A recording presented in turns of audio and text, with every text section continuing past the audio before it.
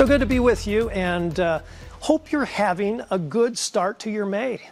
The weather has been warm, and yes, we've had flooding, but thankfully we haven't hit 90 plus. And not that that could happen this time of the year, but it's, uh, it's going to be mitigated a bit by some cooler weather coming in. The question will be how much rain will fall in the coming days? The snowmelt is significant. Oh, just a week and a half ago, Jordanelle was still frozen over. But we still have, I have to mention this, a lot of snow in the mountains. Over at Big Cottonwood Canyon, at the SNOTEL site at Snowbird, there is still 70 and a half inches of water in the 150 or so inches on the ground. Now that's water that will come out when temperatures hit the 90s in the Salt Lake Valley, so we're not going to be done anytime soon. And here's the upper low moving in that'll bring that slight chance for a thunder shower to southwest Utah, possibly uh, tonight, tomorrow uh, to parts of Utah, especially tomorrow. I think tomorrow will be our better chance for a shower or a thunder shower, especially as this storm starts to move in. It'll more, more than anything else, it'll graze Salt Lake City. Our high today with southerly winds 10 to 20 miles per hour is going to be 80. We'll call it partly cloudy, some sun coming and going throughout the day. Around the remainder of the region, uh, 65 Park City and Evanston 66, Logan 74, 81 in St. George with 73 in Kanab.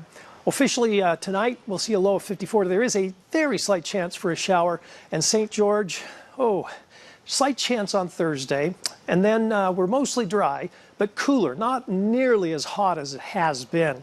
For Salt Lake City, Ogden, Provo, and the Wasatch Front, 80 today, and then turning cooler tomorrow. Tomorrow's high will be 72, and there will be a fair chance for showers and thunderstorms. Most of these thunder showers will likely be under a quarter of an inch.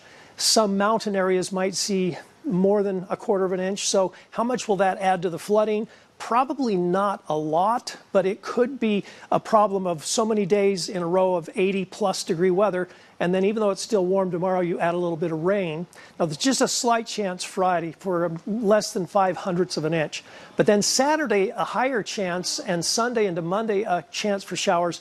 The cooler temperatures will keep the snowmelt in check, but also the river still will be running high. And so anywhere we have a heavier shower, that might be associated with, say, a thunderstorm, we could easily, easily have some local flooding. So we're going to have to keep an eye to the sky and watch for those thunder showers the next four or five days.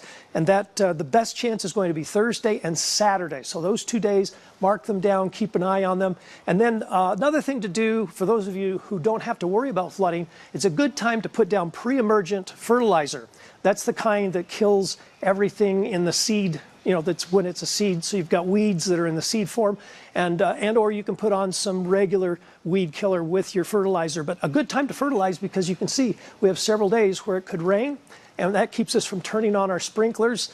And I would encourage you not to turn on your sprinklers. Wait for the rain. That'll help out a whole lot. So again, warmest day of the next seven days is today. Hope you enjoy it.